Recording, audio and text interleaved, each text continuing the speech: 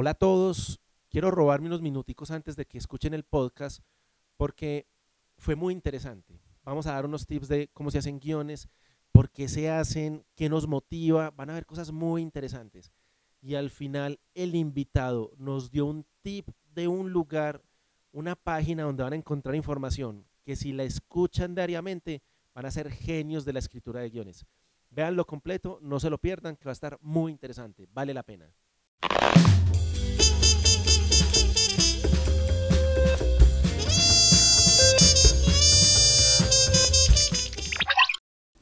Bueno, hola a todos, ¿cómo han estado? Qué rico tenerlos de nuevo por aquí en Animación para todo el mundo. El día de hoy tenemos un invitado muy especial. Gabriel, ¿cómo estás? ¿Qué más, Dani? ¿Bien o no? Muchas gracias, hombre, por este ratico. Vamos a Bueno. conversar muy bueno. A ver, Gabriel, yo sé que todos los que nos están viendo se han preguntado cómo es inventarse universos para la animación, cómo es escribir historias, cómo es responder a esa pregunta que le hace uno a la mamá de, ¿y usted hace todo eso de la cabeza? Yo no sé si a usted Sí. pasaba, eh, pero a mí por lo menos cada vez que yo dibujaba algo me decían, ¿y usted se inventó todo eso de su cabeza? ¿Usted dónde sacó esa idea? Entonces, hoy muchachos y muchachas y todos los que nos vean, vamos a hablar de eso. Cómo se hacen investigaciones, cómo se escribe para estas cosas, cuáles detalles hay que tener presente y hasta cómo finalizamos para que alguien diga, bueno, yo esta idea de este loco que se levantó a las 3 de la mañana a escribir algo, la voy a fondear, le voy a meter plata. Entonces, bueno, antes de empezar, recuerden, yo soy Daniel Vélez, el fundador del estudio Bombillo Amarillo, y me acompaña Gabriel. ¿Quién sos vos, Gabriel? Contale a la gente. A ver, yo soy Gabriel Mesa, yo soy un comunicador social de la Universidad de Antioquia. Me he dedicado prácticamente toda mi vida profesional a la televisión, live action, eh, fundador de Opción Video Digital hace 30 años ya. Y eh, la vida me ha llevado, pues todavía el gusto por escribir, pero la vida me ha llevado a que perfeccione ese arte pues de hacer guiones y contar historias. Básicamente ese ha sido como mi recorrido. He dirigido series, he hecho- he hecho dramatizados, he hecho documentales, pero eh, ahora muy enfocado a escribir historias y, y creo que es el tema que más disfruto de todo este cuento. Gabriel, vos sos muy humilde. Contá tus premios, tu recorrido, esos galardones que tenés, porque no es solamente contar que escribís y que fundaste una empresa. Vos ya tenés ahí unos, unos checklists que dicen, este man es bien teso para esto. Contá, contá esa parte.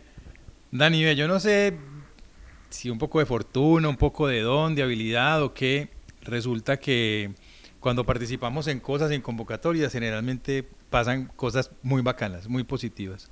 Entonces, por decirte algo, eh, llevamos cuatro, tal vez, eh, cuatro Mintics, pues hace cuatro años ya se abre cámaras en Mintic, ¿cierto? De los cuales he logrado que tres proyectos se realicen a través de esas convocatorias y esos fondos. Eh, tengo la fortuna de haber dirigido una serie muy bonita que se hizo para Teleantioquia, a la vez que la coescribí, porque el guion no es mío, fue en compañía con otra persona y obtuvimos una India Catalina con esa serie. Entonces, bueno, y así una serie pues de convocatorias en las que participamos y generalmente ganamos. Entonces, hay algo, hay algo, algún secretico ahí que es bacán. Bueno, como les digo, él es muy humilde. Él tiene muchos más galardones, pero no nos vamos a caer en esa parte, eh, porque bueno, creo que, que ya nos daremos cuenta de su experticia y demás. Por mi lado, en esa parte de creación de mundos, pues desde Bombillo hemos tenido la fortuna, como lo dice Gabriel, de presentar muchos proyectos que nacen y, y aquí viene algo muy importante. Lo principal es el guion, porque es que son proyectos que logran fondear sin conseguir recursos y convencer a la gente no por no solo por cómo se ven estéticamente que a veces pesa sino por esas historias tan interesantes que están detrás cierto por ejemplo Lara que fue una- un proyecto que co-creamos aquí en el estudio con Gabriel es una historia basada en un montón de cosas que estuvimos investigando de Chiribiquete y averiguar todo lo que pasaba con esa arte rupestre, con ese lugar, con su tierra negra, donde vos no sabías si lo que estás encontrando es algo de hace muchos años o reciente, donde la gente todavía sube allá a hacer unas ceremonias, pues le termina uno poniendo la mente a volar. Empecemos por esa parte, Gabriel. Entonces, así como Bombillo ha ganado tantos premios y demás por escribir estas historias, y, y de verdad a todos los que nos escuchan, el guion es la clave. Una buena historia mal animada sigue siendo una buena historia. Una mala historia, por muy bien animada que esté, la gente no la ve. Ah, Listo. Tiene razón. Entonces, Gabriel, empecemos por el principio. La gente cree que uno escribir es sentarse y empezar de una a escribir, pero eso tiene un proceso previo. ¿Qué es ese proceso previo? A veces investigamos, a veces llega por las experiencias anteriores. ¿Vos, cómo lo has vivido? ¿Cómo es ese, ese momento antes de sentarse a enfrentarte a la escritura? Bueno, hay una cosa que a mí me parece fundamental en toda aquella persona que quiera escribir y es como el interés intelectual, como la inquietud intelectual. O sea, es difícil vos sacar cosas de la cabeza que en algún lado no lo hayas escrito, no lo hayas escuchado, no lo hayas investigado, no lo hayas visto. O sea, todo lo que está en el intelecto de alguna manera entró, ¿cierto? Entonces, si vos no tenés ese interés, esa curiosidad intelectual, es difícil que vos puedas sacar cosas interesantes. Primero eso. Segundo, la preparación. Obviamente, si vos vas a hablar de un tema, deberías tener o darte el permiso de hacerlo como experto, porque es difícil hablar de un tema y convencer a alguien de algo si vos no sabes de qué estás hablando. Entonces ahí es fundamental la investigación, es darte el permiso y el tiempo para macearte el tema, analizarlo bien, buscarle las aristas, cuáles son las más ricas para poder contar la historia, ¿cierto? Y ya de ahí en adelante, ahí sí viene la creatividad, la innovación, tu inventiva, tu capacidad creativa. Creo que ahí es, digamos que un paso a paso de cómo deberían ser las cosas. Bueno, yo a eso le quiero agregar algo y es, Gabriel nos dice un poquito de lo que hemos visto, lo que hemos experimentado y yo quiero hacerle un zoom a lo que he experimentado. Las vivencias son a veces uno de los motores más importantes que nos llenan ese primer momento porque al vivir una historia nos permite escribir con sentimiento, con una sensibilidad especial. Así es. Yo recuerdo hace poco estuvimos en el Pixelat, estuvimos eh, tuvimos la fortuna de conversar con Jorge Gutiérrez y él, y, él explicaba algo y es que las historias que él, que él se inventa o las historias que él propone para los canales las hace y le pone un toque de su propia vida. Por ejemplo, él nos contaba que el papá del tigre, este personaje que él creó que es un niño luchador, estaba inspirado en su propio papá. Era como el héroe, ¿cierto? Y el abuelo, entonces el, papá venía del tema de, de, un tema más, más, digamos, menos rígido, menos estricto, pero el abuelo venía de la escuela militar. Entonces, cuando él entraba a donde el abuelo, era un señor, así rígido, bien puesto, hablando al teléfono con una señora al otro lado, con tono militar, bla, bla, bla, bla, bla, gritando y haciendo cosas de malo, entonces, la oficina del enemigo del tigre está inspirada en la oficina del abuelo. Y la oficina y la casa donde vive el tigre está inspirado en el papá. Sí. Estamos hablando de un, de un, de un mundo ficticio, el tigre, una serie animada, pero Jorge Gutiérrez se inspiró en su propia vida. Entonces, pegarnos de nuestra propia vida creo que es clave, porque ahí encontramos, uno cree que sus historias no son interesantes, pero cuando uno las narra de una manera como las vivió y trata de transmitirle eso a la gente, eso, eso le da un toque muy especial. ¿Has tenido alguna experiencia así con lo que has escrito? Absolutamente, absolutamente. Todas las historias que yo escribo están atravesadas por cosas que he sentido o he vivido o que hacen referencia a un episodio de mi vida. Todo.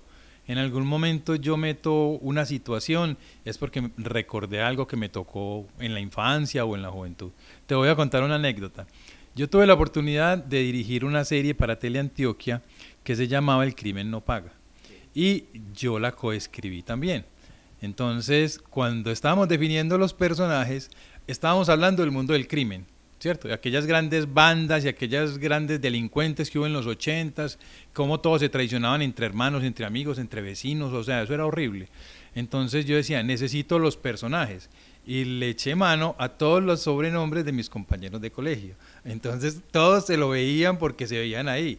Estaba Bianca, estaba el perro, estaba Peluca. A todos les pasaban esas situaciones. Era muy simpático porque era un momento de mi historia por allá que yo traje a esta serie y ahí se vieron todos, todos delincuentes. Bueno, yo tengo una teoría a raíz de eso y es precisamente que todos podemos ser escritores de buenas historias. Es más, animarnos a hacerlo obviamente eso requiere una metodología. Yo voy a contar otra anécdota, Gabriel. El primer proyecto que Bombillo Amarillo logra fondear es un proyecto que tu hijo, David Andrés, que uno nos acompaña porque no quiso estar acá. No mentiras. Queríamos hacerlo diferente esta vez. Eh, él me ayudó a llevarlo al FDC y levantar los recursos para producirlo. Es un proyecto muy personal. Recuerdo que yo cuando lo veo y estoy ante un público, se me chocolatean los ojos por, porque lo siento propio. Y nació, muchachos, porque aquí donde me ven yo tengo una arritmia cardíaca que es crónica. O sea, es una cosa que a mí ya no se me va a quitar. Y me la descubrieron por ser un workahólico fiestero. Sí, porque no solamente es por trabajar un montón, no, no crean. Era porque además de trabajar me gustaban las fiestas.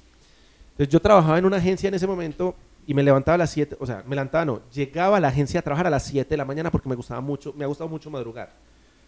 Trabajaba hasta las 6 de la tarde y a las 7 me iba para mi oficina, para mi primer emprendimiento que se llamaba Backhouse y trabajaba hasta las 2 de la mañana. ¿Y usted sabe qué hacía a las 2 de la mañana? Me iba a tomar trago con los amigos. No. Duré año y medio en ese ritmo, Gabriel. Pero es que eso sí.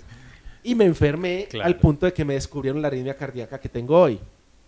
Y eso hizo que en mi cerebro me, me naciera un cuestionamiento y es, esta, no renuncié a las fiestas, hago la aclaración, pero me hizo cuestionarme esa sed por el trabajo, esas ganas, porque no era por la plata, era que me gustaba trabajar, o sea, todavía me gusta mucho. Uno, mis, mis problemas con mi esposa son porque me gusta trabajar y no me dejan los niños y la esposa.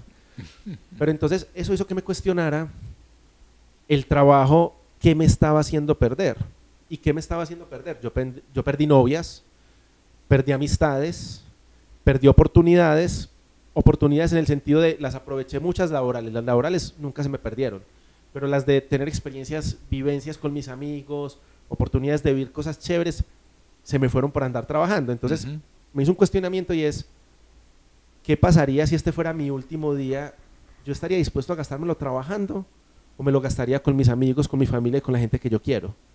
Y eso dio nacimiento al Corto Tiempos, que estuvo seleccionado en más de 30 festivales, que fue fondeado por el FDC y que fue el que nos abrió las puertas a, hacer una experimentación artística muy autoral, muy distinta a lo que normalmente hace Bombillo Amarillo. Entonces, por eso les digo, las vivencias a veces son historias que la gente quiere ver y quiere escuchar. Sí, es cierto. Eh, como te digo, gran parte de lo que yo escribo, de hecho, hay una coincidencia con el nombre de Lara. Cuando nosotros hicimos o escribimos Lara, haciendo la investigación, nos dimos cuenta que en esas tribus había un personaje que era una princesa que se llamaba Larama, ¿cierto? Y yo decía, yo soy Mesa Lara, y yo decía, qué casualidad, qué coincidencia, qué tal si forzamos un poquito la historia y nuestra protagonista es Lara, también siendo un homenaje a mi familia, ¿cierto? Muy bacano, eso es muy mm. bacano. Por ahí tu hijo tiene una historia que tiene que ver con un auto rojo, una cosa espectacular inspirada en la abuela o sea, de verdad que de ahí vienen muchas, muchos insumos. Y como en el ejemplo de Raúl, de Jorge, perdón, yo pienso que échenle mano a eso, porque a veces eso nos ayuda para inspirarnos incluso para mundos de ficción. Y eso es muy bueno. Listo, digamos que ahí tenemos la inspiración, tenemos esos primeros momentos. A veces no nos animamos a escribir porque pensamos que escribir tenemos que haber sido o comunicadores, o haber sido publicistas, o haber sido poetas, ¿Vos qué le decís a la gente? Si es necesario haberlo estudiado, a veces puede ser talento como muchos dibujantes que simplemente nacen y nadie les enseñó. Es un poco de ambas. ¿Vos cómo lo consideras? Bueno, absolutamente no tiene que ser comunicador, no tiene que haberlo estudiado, absolutamente. Cualquier persona, como te digo, con la suficiente creatividad es capaz de contar una historia, o por lo menos proponer una idea que sea poderosa para la construcción de una historia. Porque ya volverlo guion si tiene pues unas técnicas, unas normas, unas cosas que uno sí debería tener en cuenta si quiere que esto tenga algún suceso, ¿cierto? Entonces, pero como idea, narrarla, escribirla y que sea interesante, cualquier persona lo puede hacer, ¿cierto? Y lo puede y puede inspirarse de cualquier hecho, de cualquier situación vivencial o, o fantasial, también puede ser una fantasía. Pero cualquier cosa puede ser un pretexto para contar una muy buena historia. Gente de que cualquier hecho, hay una serie, en este momento se me escapa el nombre, La ventana del lado, creo que se llama, no sé, si hay, es una película argentina, y es el hecho de que un tipo, un vecino, compra una casa del lado y quiere hacer una ventana que dé a la casa del vecino. Eso es una tragedia, eso es todo, es una peliculaza. El guion es perfecto Y uno es, de ese hecho, un tipo que es medio mafioso, medio malo, dice, yo quiero una ventana aquí y al vecino, no me importa, háganme mi ventana. Y eso es una tragedia porque termina muy mal. Pero mira que de un pequeño hecho logran contar una historia de dos horas que es muy poderosa. Qué nota. Bueno, pero entonces Gabriel, ahí tocas un tema que me parece muy interesante que nos va a dar como el paso a lo que, a lo que quiero venir a tratar. Entonces, yo les voy a contar incluso cómo funciona el bombillo amarillo. Yo, Daniel Vélez, no soy escritor por formación, soy escritor por vocación. ¿Cómo así? A mí me, me gusta inventarme historias, me encanta, me fascina. Y en Bombillo soy un gran generador de ideas originales. Así es. Listo, ¿cómo así, Daniel? como ya les conté, soy una persona que duerme poco y muy mentalmente activa. Entonces muchas veces a las 2, 3 de la mañana, cuando mis niños me despiertan y no soy capaz de dormir, pues yo qué hago? Me siento a escribir. Y me siento a escribir lo que se me ocurra en el formato que en ese momento tenga la mano. A veces es el celular, a veces es una servilleta, a veces es el computador, no importa lo que tenga la mano, pero si una idea se me viene, yo la escribo en lo que tenga la mano para tratar de que no se me olvide. Eso es muy importante. Una buena idea, rayenla por ahí porque a uno se le olvida, se le escapa. Total. Déjenla, ahí tangible en alguna parte para que no se les vuele y la puedan retomar cuando la puedan desarrollar. yo genero esas ideas, pero yo esas ideas las llevo hasta un punto donde ya empiezo a requerir de la academia. ¿Cómo así requerir de la academia? David Andrés Mesa, como se los mencionaba, él es director de arte por profesión, entonces sabe de guiones, de escritura, de narrativa, de dramaturgia, de todo eso que Daniel Vélez como diseñador gráfico no tiene ni idea. Entonces yo le digo a Andrés, oíste, ayer soñé con esto, ¿qué te parece? Y si a Andrés le parece bueno, lo desarrollamos más. Así nacen las ideas en Movillo Amarillo. Es muy bacano. Sí, sí, sí, sí. Y pasa una cosa. Se complementa. Y cuando las queremos hacer ya más académicamente correctas, se las traemos a Gabriel. Entonces miren cómo funciona. Daniel Vélez tiene una idea original. O Andrés, pues, porque es un ejemplo que les doy. Listo, aquí en Bombillo pasa, cualquiera puede traer la idea original. Pero Daniel tiene una idea. Se la trae Andrés, que la lleva ya a un estado del arte donde ya empieza a ser interesante para, para convocatorias, ya puede ser formato guion y demás. Y cuando la necesitamos más estructurada, con mucha más disciplina, se la llevamos a Gabriel. ¿Listo? Entonces miren esto que pasa. Una historia buena se crea desde las ganas de contar buenas historias. Eso es todo. Pero entonces entramos a la academia.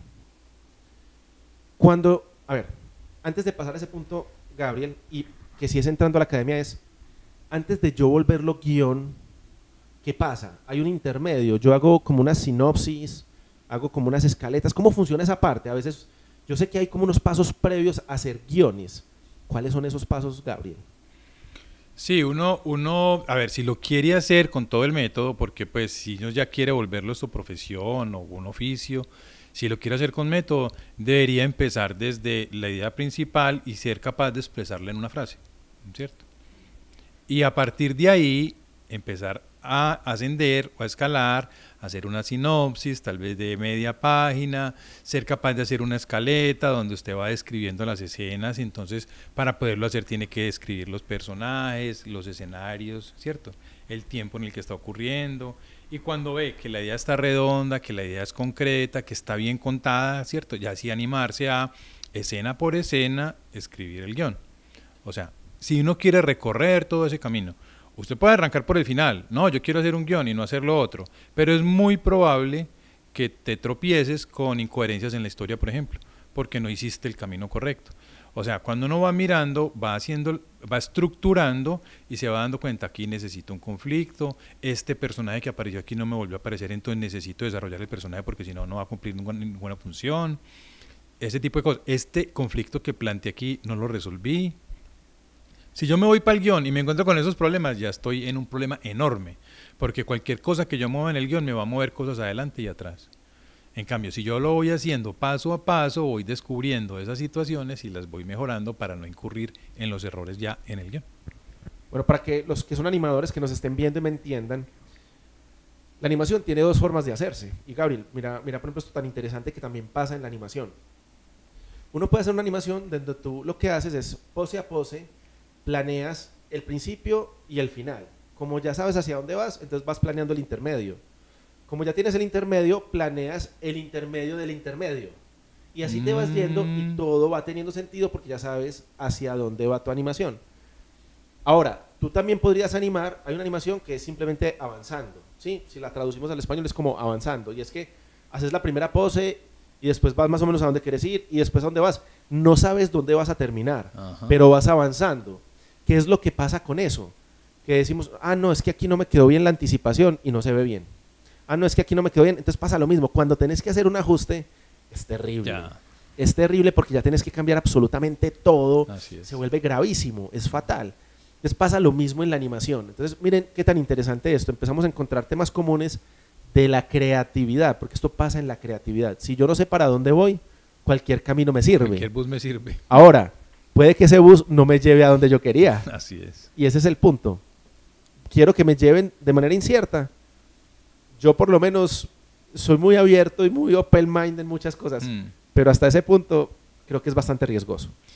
Dani, com- como, industria no deja, no deja de ser fórmula. O sea, si uno quiere estructurar una cosa, que la gente la vea, la disfrute, que sea evaluada, que sea valorada, muy probablemente termine siendo la fórmula con la que se escriben los guiones, ¿cierto? El método aristotélico de los tres actos que yo planteo, meto un conflicto y resuelvo. Es muy, hay mucha gente que dice, no, a mí no me gusta ese método, yo voy a arrancar con la resolución, que no sé qué, y si lo miras termina siendo aristotélico, ¿cierto? Es más el cómo lo abarcas. Exactamente, cómo lo abordas, pero finalmente termina siendo una, una historia de tres actos donde estoy planteando lo que te estoy diciendo. Entonces, como yo tengo claro que ese es el método y que esa es la estructura, yo sé, aquí necesito, después de plantear un universo, una situación, aquí necesito un conflicto que me cambie el estado, el estado de la situación actual, ¿cierto? Y aquí voy a hacer un montón de turbulencias porque necesito mover al, protagonista para que viva un montón de situaciones que lo ponen a prueba, ¿cierto? Y al final necesito que todo eso que yo planteé tenga una resolución, de alguna manera bien, mal, o- digamos que es libre para lo que usted quiera plantear, pero necesito que tenga una estructura parecida. Si, si yo lo planteo desde el comienzo así, muy probablemente tenga una historia redonda, ¿cierto? Súper. Bueno, retomando, y también porque sabes que este espacio es muy educativo, yo quiero que le empecemos a dar los nombres con, con el que en medio maneja. Entonces hablabas de, está bueno arrancar por una frase. ¿Cómo se llama esa frase, Gabriel? El storyline. Puede ser, puede ser el storyline, ¿cierto? Es una sola frase donde yo planteé la situación de lo que va a ocurrir, en una sola frase. Te pregunto, Gabriel, ¿es lo mismo que el tagline o no es, Es lo que, el tagline, es que el tagline habla más como de una frase mm, comercial, corta y concreta, que me- me recuerde a mí la película cuando yo la vea. Tiene, tiene más como un interés comercial. Ya. El story sí tiene más una cosa narrativa que me va, de qué va la película. Bacano. Pues esa parte no la sabía yo. Aquí estamos aprendiendo todos porque de verdad yo no soy especialista, como ya les conté, no soy especialista en temas de guiones. Bueno, yo tengo el tagline, eh, perdón, el storyline.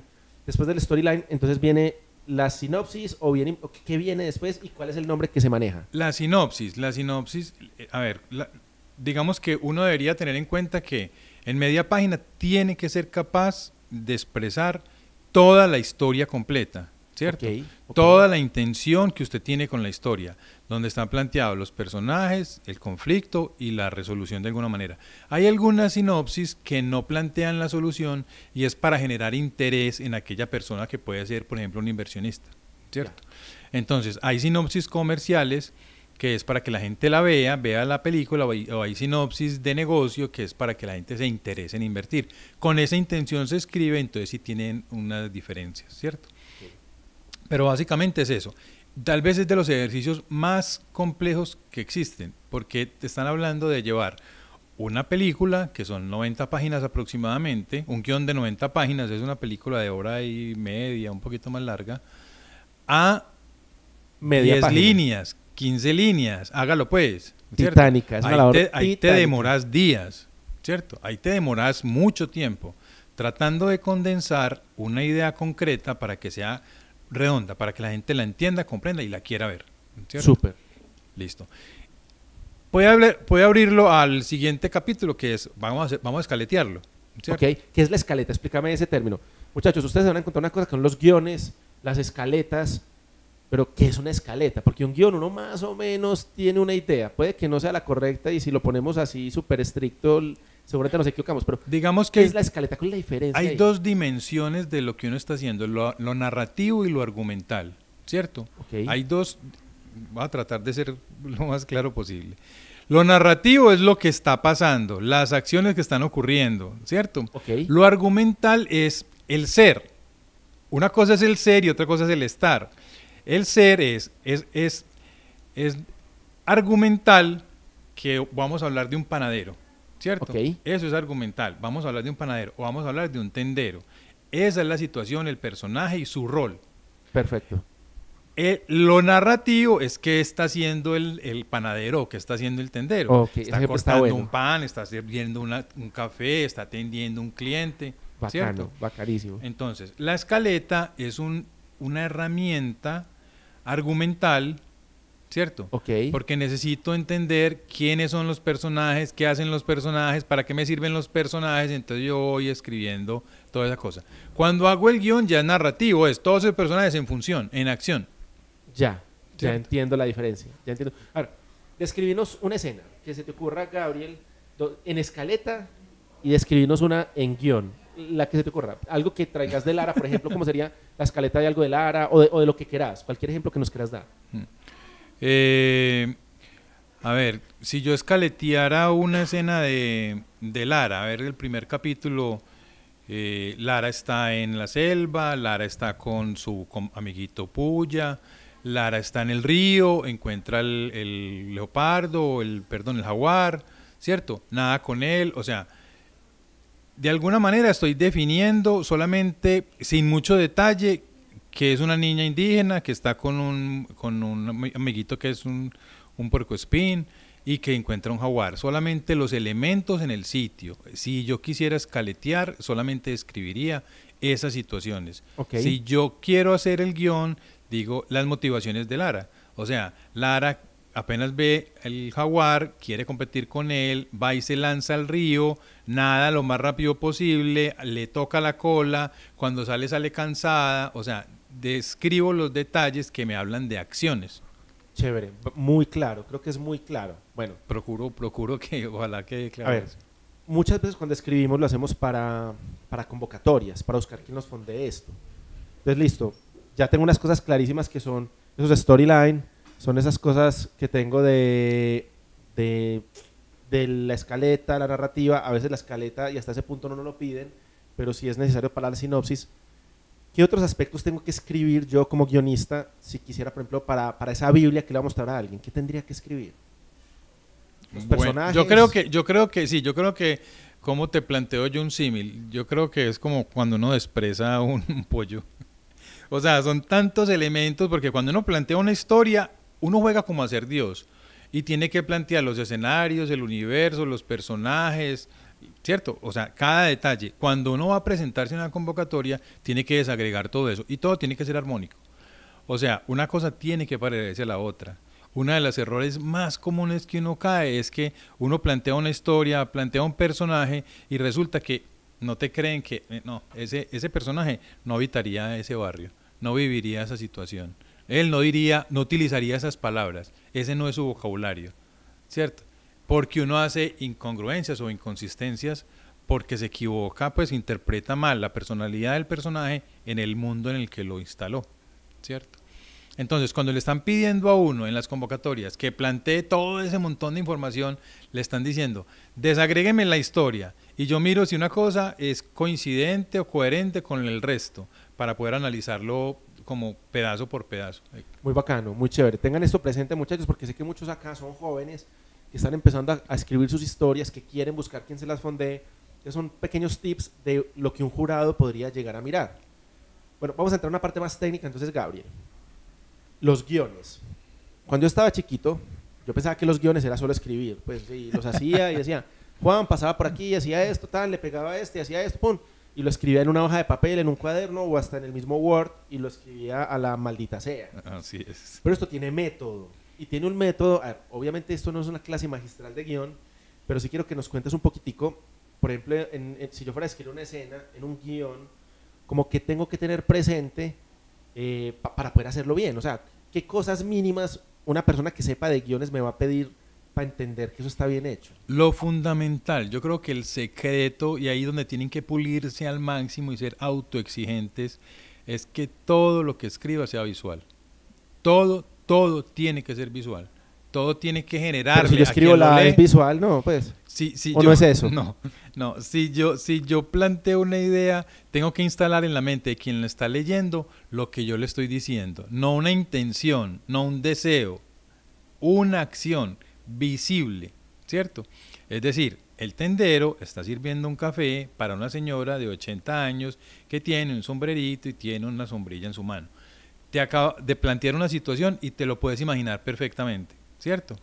Pero si, si yo te digo, el tendero quiere atender una clienta, ¿qué imagen tenés en, no, pues es que. Ninguna. Hay, hay, o la imagen que tengo es un, un tendero, una señora. ¿Cuál señora? ¿De qué edad? Nada, que lleva en la mano? ¿Quién está? ¿Qué es la atención? No, no tengo Difícilmente puedes hacerte una imagen mental, ¿cierto? De pronto una cosa abstracta, pero difícilmente una cosa concreta. Lo que tenés que hacer cuando estás escribiendo es que cada frase, es que es difícil, cada frase sea interpretada realmente a través de una acción visible. Uno no puede plantear ahí una cosa un deseo. Entonces él se lo encontró y quiso pegarle. ¿Cómo que quiso pegarle? ¿Cómo muestro yo eso en una imagen? ¿Cómo lo llevo a, la escena? Es imposible. Yo cómo interpreto el deseo del actor o del personaje de pegarle al otro. No. Este empuña, ¿cierto? Cierra el puño con fuerza, lo mira, cierra el, el, ceño fruncido, mostrando rabia, porque necesito mostrar que algo está pasando en su interior, si quiero expresar sentimientos. No es simplemente. súper específico. exactamente. Miren, muchachos, aquí algo importante, esto que cuenta Gabriel. Mientras más meticuloso sea yo en cada descripción, y esto pasa en todos los niveles de la producción de una animación o de un audiovisual, menos margen al error voy a abrir. Recuerden, esto requiere muchos talentos detrás. Si yo desde el guion no fui explícito en lo que estoy contando, cuando lleguen al animatic, seguramente lo que me van a poner en el animatic no va a responder a las necesidades de ese guion o de esa historia. Si eso sigue avanzando, la interpretación va a seguir mutando y vamos a hacer un teléfono roto, literal como cuando hemos visto los ejercicios de teléfono roto. Que alguien dice pelota naranja y por allá terminan hablando de una vieja muy bronceada en pelota, ¿cierto? Así es. Entonces, es, es, a ese nivel lo que termina sucediendo. Ahora, sé que la fórmula del guion tiene ciertos detalles al momento de escribir para minimizar esos riesgos de, apertura al, error. Incluso desde la estructura misma, como se hace ese guion, Gabriel. A mí me, me, costaba, ya no, pero me costaba entender ese formato de guion. Porque es que, muchachos, para quienes no han visto un guion profesional, eso usted arranca, tiene un numerito al principio, después dice un lugar, después dice en qué momento del día está pasando, después hay un tema narrativo y después llegan los diálogos. Así es, esa es la estructura. Contame esa estructura, cómo es y por qué. O sea, ¿cuál es el objetivo de, cómo está estructurado? A ver, eh, una producción se divide por departamentos, ¿cierto? Y por departamentos es, hay una gente que hace vestuario, hay una gente que hace arte, hay una gente que hace fotografía, está el director, o sea, todos necesitan estar sintonizados y quien lo sintoniza la partitura es el guion, ¿cierto? Entonces yo en el guion le estoy hablando a todos los departamentos. ¿Listo? Entonces cuando yo digo escena tal, exterior día, ¿cierto? Estoy diciendo, ojo con la luz, le estoy, le estoy hablando a los de fotografía. Estamos hablando de que vamos para la calle, porque vamos a grabar o, en este caso a ilustrar o a animar una situación de día. El sitio donde ocurre, habitación o, patio de la casa de fulanita de tal.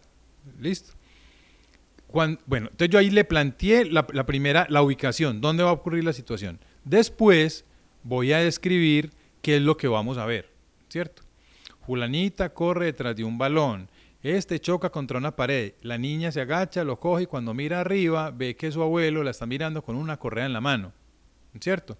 uno ya inmediatamente se hace una situación. Exacto. Ya uno se, imagina una situación, yo aquí va a haber un momento de tensión, aquí va a pasar alguna cosa. Ya, ya le dije a, todos, a los de arte que necesito un balón, que necesito una un vestido de una niña, que necesito una correa, que necesito el vestido de un abuelo. ¿Cierto?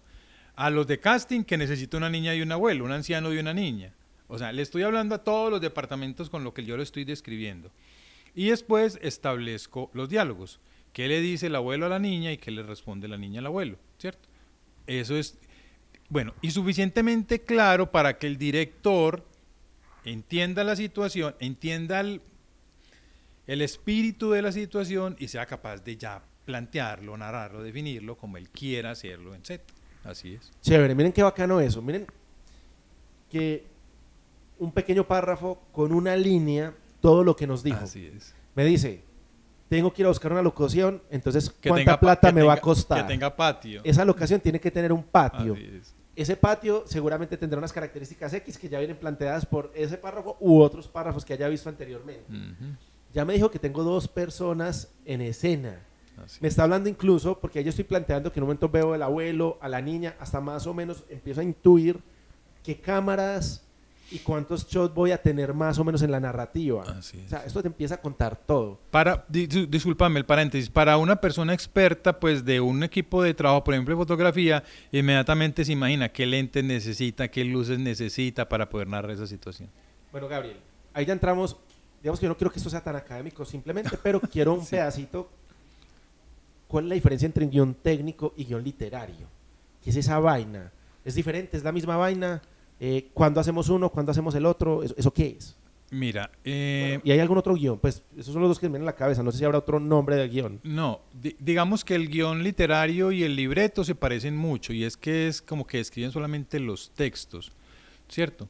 Solo, solo textos. El guion técnico sí describe muchísimo más el, el- el tiempo, la duración, eh, unas condiciones técnicas que debería tener en cuenta pues la producción, ¿cierto? Generalmente al guion técnico se le adicionan algunas columnas que hablan más de la duración de las cosas. O si, o si va a llevar algún tipo de apoyo. Uno generalmente, o yo por lo menos, procuro no poner muchas cosas técnicas porque eso hace parte de la libertad que debería tener el director a la hora de dirigir la escena, ¿cierto? O sea, hay que dejarle al director que dirija. O sea, porque uno muchas veces piensa, pues madre, aquí me gustaría que hubiera un efecto así, o me gustaría que fuera que se fuera en traveling la cámara, o me gustaría que fuera un plano, un primerísimo primer plano, o me gustaría que fuera un zoom que llegara al, al ojo y se le metiera en el ojo a la persona. Esos son temas del director. Chévere. El director debe tener la libertad de poderme contar las cosas como él, después de leerlo, interpreta y lo quiere hacer. Entonces, mientras más me meta en ese mundo, incluso más me va a odiar el director, y es que oigan a este. No, entonces yo respeto mucho y dejo que él lo haga como lo desee. Bacanísimo eso. Entonces, miren, esto es una co-creación. O sea, como, como guionista, pues yo tengo una idea, como creador de la historia, pero tengo que entender que esto va a pasar por muchas manos Así es. y que tengo que estar preparado profesionalmente para que ellos le metan su propia visión de mi mundo. De mi mundo. No, y para la, el mío. para la frustración. Dani, para la frustración, porque uno, uno escribe su historia, uno la idealmente se la imagina y trata de plasmarlo lo más real o lo más fiel posible en el papel, pero el director es, es del director, o sea, él dice, "Mm", o el productor, o sea, el que puso la plata. En función de dice- plata. Dice, espérate un momentico. Yo no tengo para tanta Este, cosa. Exacto, no, no, no. A mí ese Mercedes no va, póngame un Renault 4 y no, no, marica, ya no es lo que yo pues, yo Pero si ese escribí. man era estrato alto, como que un Renault- No, pero Sí. es que has visto el nuevo. El nuevo de pronto ya es más, No me, más estratudo. No, no hay manera, yo creo que no hay manera de que la película refleje 100% fielmente lo que se escribió en el guion. Hay Chévere, cierto margen y hay cierta tolerancia para que el director dirija, ¿cierto? Entonces uno dice, pues madre, esa no era mi idea, pero bueno, quedó Bueno. quedó bueno. A ver, Gabriel, como te decía, yo no quiero que esto sea tan, tan, tan académico todo, Ajá. pero sí me gusta mucho que la gente aprenda a lo que se va a enfrentar en el medio cuando están escribiendo, cuando van a hallar sus ideas, cuando, cuando van a buscar fondeos.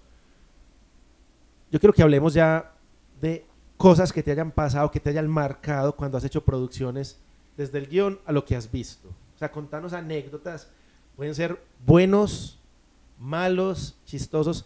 ¿Qué te ha pasado que vos dijiste, bueno, yo escribí esto y me imaginé esto y yo estaba encariñado con esto y el director me hace completamente lo opuesto? O me pasó que yo quería que este actor hiciera esto, esto, esto y me trajeron un actor, me lo volvieron una actriz.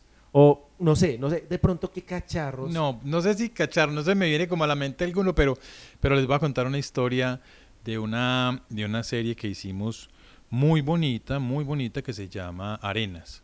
Arenas contaba la historia de un artista colombiano, tal vez el más importante monumentalista, Rodrigo Arenas Betancourt, y mm, esa historia yo la escribí en la pandemia y me concentré a investigar su vida, hablé con la viuda y ella fue pues un libro abierto Y entonces pude construir una historia muy bonita.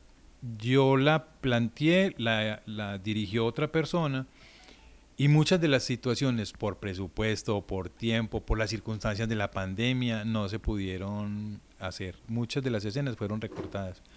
Cosa que lamenté mucho, cosa que renegué mucho, cosa a la que me opuse y me resistí mucho.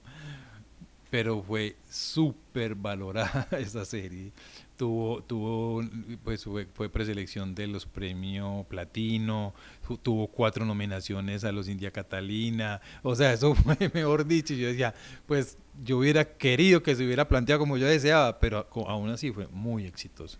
Sí, ven que yo les dije que era muy humilde, con nominaciones a India Catalina, con los premios platino, para quienes no saben, estamos hablando de los premios más importantes de Colombia, y los premios, uno de los premios más importantes de Latinoamérica. Iberoamérica. De, ah, bueno, de Iberoamérica. Entonces, imagínense la humildad de este hombre.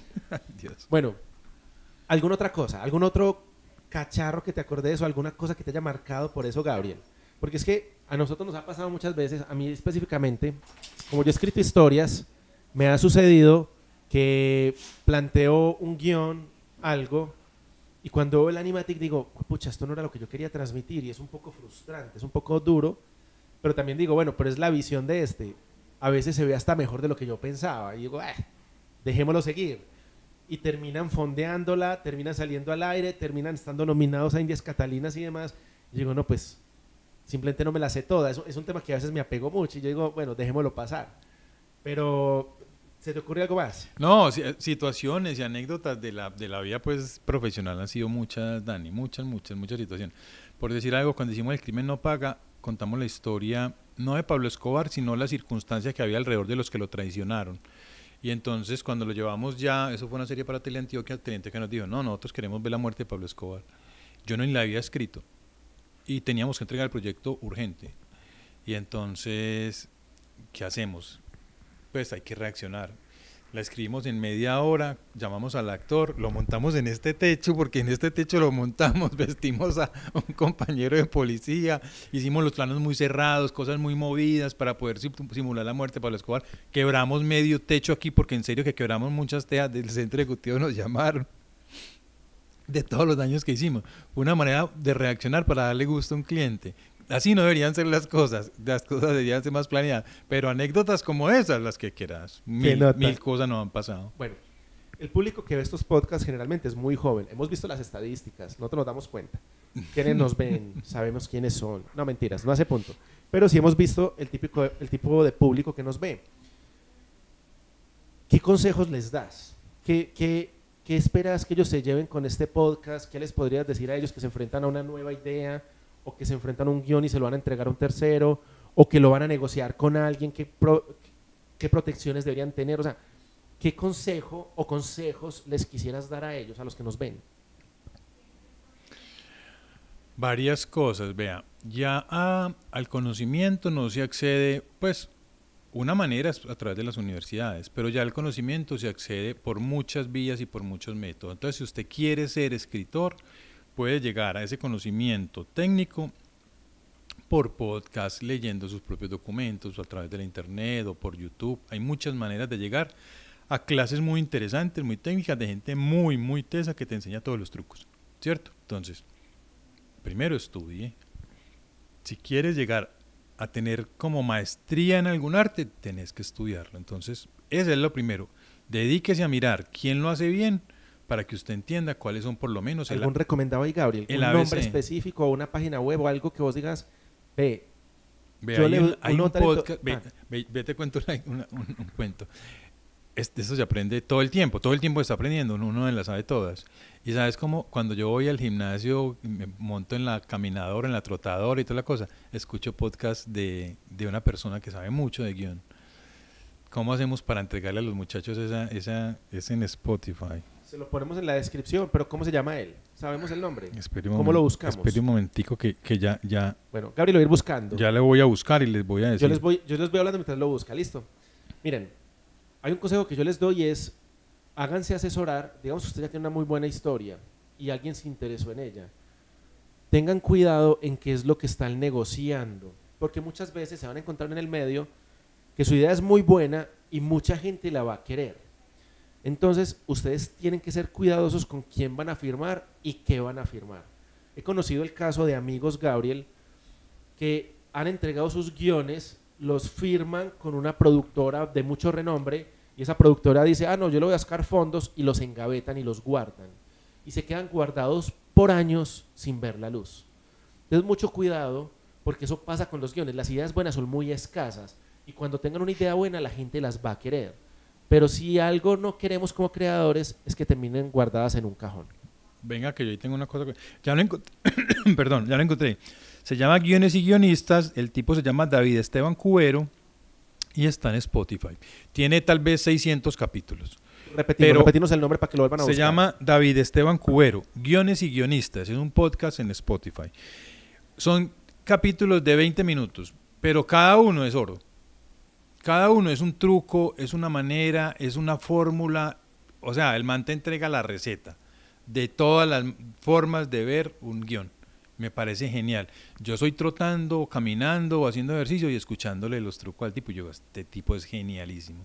Ese es imperdible. Me parece a mí muy bueno. Bueno, ¿algún otro consejo? No, y lo otro que te iba a decir es, esto es construido, yo creo que eh, a través del no. Es difícil, es un mundo muy árido, es un mundo como, lo voy a decir de una manera pues que se me viene a la mente, como de elegidos. O sea, es tal vez que es como una pirámide a la que llegar a la cima es muy difícil, porque todo está construido a través de, no, eso no sirve, no, eso no me gusta, no, no creo que funcione, o te presentas y no llega, o, te presentas y no gana. Entonces es templanza, disciplina, si no paso, apriete la tuerca que falta por apretar y persista porque es la única manera. Me he encontrado mil veces con no, tengo proyectos archivados, engavetados, años, ¿cierto? Con proyectos que considero muy buenos, que yo los produciría si tuviera el dinero para invertirle los dos mil o los tres mil millones de pesos que vale. Danos tiempo, danos tiempo. pero, pero es a través del no que uno construye la templanza suficiente para poder tener un proyecto que alguna vez llegue y tenga algún suceso. Yo creo que tal vez esa, esa tolerancia en la frustración es parte del camino que hay que recorrer. No es, ay, yo tengo una muy buena idea, buenas ideas hay muchas. Sea capaz de materializarla y llevarla a un muy buen guion, que es otra cosa. Bueno, muchachos, yo creo que tuvimos un invitado, digamos que estelar, es una persona con mucha experiencia, con muchos años, que estos 40 minuticos, esta horita de, de, de podcast, sé que les ahorraría mucho tiempo si ustedes toman esos consejos, esto que se ha hablado, si empiezan a estudiarlo con esta disciplina, incluso si se tiran al agua a hacerlo como hice yo, que simplemente escribir porque dije, yo quiero escribir y contar historias. Pero muchachos, creo que estuvo muy bueno, qué rico haberlos tenido aquí en animación para todo el mundo. Recuerden suscribirse para estar pendientes, cada ocho días, cada ocho días vamos a estar compartiendo historias como esta.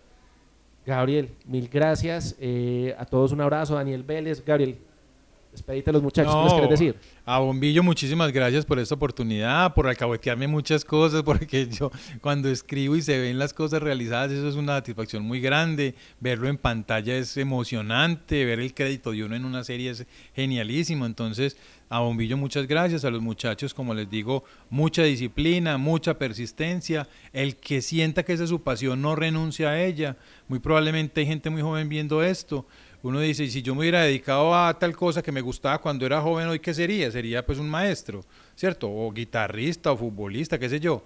Pues si ustedes están jóvenes y esto les gusta, sean persistentes, porque en 10 años muy probablemente sean maestros del arte. Pilas que si fueran futbolistas ya estarían retirados si tuvieran la edad de Gabriel y yo, pues ahí sí, yo no hubiera llegado a ser nadie, solamente un rodillón retirado. Un abrazo muchachos, cuídense mucho y nos vemos dentro de ocho días. Muchas gracias, hasta luego. Ay, permiso, yo quiero decir algo que hay por acá. Bueno, bueno, eh, yo, yo, suscríbanse, denle like y ya, ¿cierto? Chao.